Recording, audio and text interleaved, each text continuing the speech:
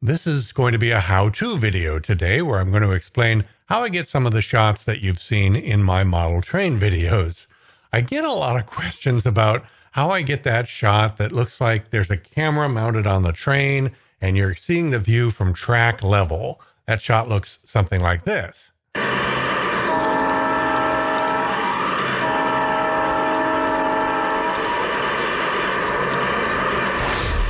And there's another shot that I get. It looks like you're sticking your head out the window of the train and looking at the view ahead of the train. That shot looks something like this.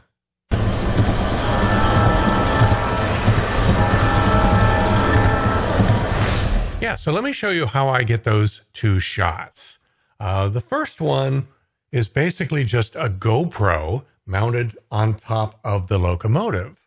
And there's a GoPro accessory that's a mount here, and that's what I use to take the GoPro, which is the top part here, and attach that to the train. And the, the way that it actually attaches, that's the trick. I use a product called a 3M command strip. You can buy these at Walmart or on Amazon.com. And it's basically just double sided tape in little short segments like this uh, that removes very easily, very cleanly. So when you remove the tape, when you're all done, you're not leaving a bunch of residue behind on your train. So I'll take this command strip and peel off the top portion to expose this side of the adhesive and attach that onto the GoPro mount here. And then I'm going to remove the other half of the strip to expose the rest of the adhesive. And now I can just stick this right onto the top of the train. And when that's on there, it's pretty solid and the train can run around and it's not going to shake or fall off or anything like that. But when I'm all done and I'm ready to take this off of the train, it actually can be pulled off there fairly easily. And this command strip comes right off super clean without leaving anything behind. So that's how the camera is mounted on the top of a train like that. This particular mount has a flat surface because this train has a flat top. Now, if I take a train like Thomas the Tank Engine that has a rounded top like that, that requires a slightly different mount. Instead of this flat mount, I'm just going to pop that flat mount off of there and put on this curved mount. So now we have a curved surface there that'll mount real easy onto the top of a curved locomotive like Thomas the Tank Engine. Now, as far as getting that shot from the side of the train, I'll show you how I would do it. Like, usually I'll do that from the last car in a train. So I've got a caboose here. I don't just take a GoPro like this and stick that on the side of the caboose. For one thing, you know, if you put this mount on like that, the camera would be sideways. So that wouldn't work. But the other thing is that this is way too heavy. This GoPro is pretty substantial and this caboose is very, very light. There's nothing inside. If you mounted this GoPro on the side of that caboose, it would just tip that caboose right over. So it requires a slightly different kind of GoPro to get that shot from the side of the train. I happen to have a GoPro from several years ago, a few models back. This is called the Hero 5 Session. And this GoPro is the lightest GoPro they ever made. They don't sell these anymore. If you wanted to get one, you'd have to find one on eBay.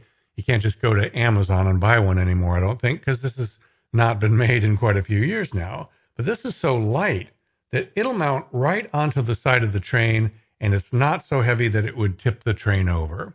So again, we use a 3M command strip to mount that on there, but nothing else. So I'm just going to attach this command strip to the side of the GoPro Hero 5 session. And then I'm going to remove that strip and expose the adhesive. And this will just go right on the side of the car there. And it's so light that it doesn't tip that over. That's the trick to getting that shot you've seen from the side of the train. Now, if your layout has a lot of curves to the right, you're going to want to mount this camera on the right side of the train. And if your layout has a lot of curves to the left, you're going to want to mount this camera on the left side of the train. if your layout has both left and right curves, you're going to want to shoot the thing two different times, one time with the camera mounted on the left and another time with the camera mounted on the right. And then in your editing process, switch back and forth between those two. Now, there's one other trick that I use in making my model train videos that I ought to explain to you. That is sometimes I need to get additional sound.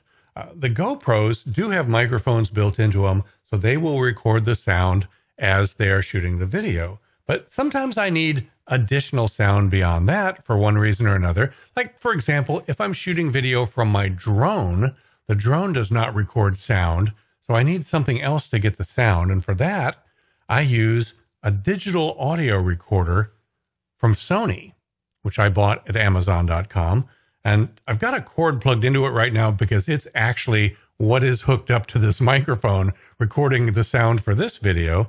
But if I were to unplug that cord there, this Sony digital audio recorder has little built-in stereo mics on the top, and I could use a 3M command strip to mount this right on top of the train and then run the train around the layout and I can get a good recording of the layout's sounds that way.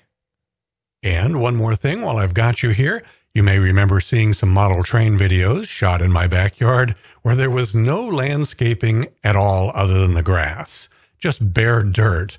Or maybe some other videos you might have seen where there was half dirt and half rocks back there with a few trees. Well, I'm happy to report now in the spring of 2021, my backyard landscaping is complete and it is becoming a paradise back in the backyard now. I'm really happy with the way it turned out. Right now, I'm putting up on the screen some links to my model train videos shot here at my house in Washington. If you see a thumbnail that looks interesting, click on it, and I think you'll enjoy the video. I'm Jim Zim. Thank you for watching today.